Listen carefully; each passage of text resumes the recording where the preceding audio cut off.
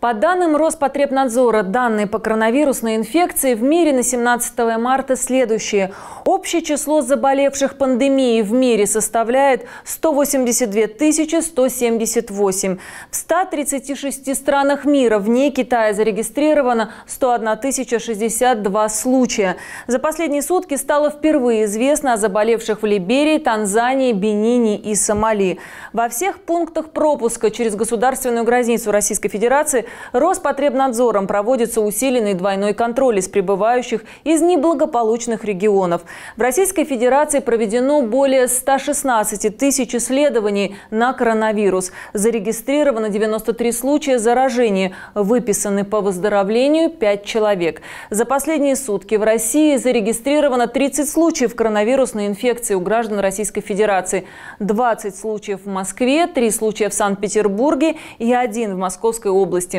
О ситуации с пандемией в Подмосковье на своих страницах в социальных сетях губернатор области Андрей Воробьев ежедневно информирует жителей региона. Подтвержденных случаев коронавируса у нас 9. Еще 6 анализов находятся в Новосибирске и могут быть подтверждены в ближайшие сутки.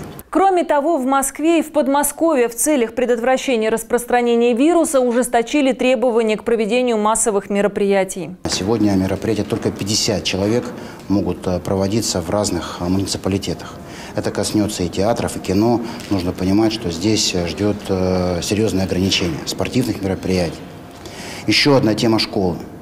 А сегодня в школы Подмосковья пришло 80% учеников.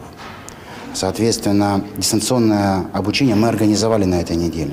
Но со следующей недели мы объявим трехнедельные каникулы.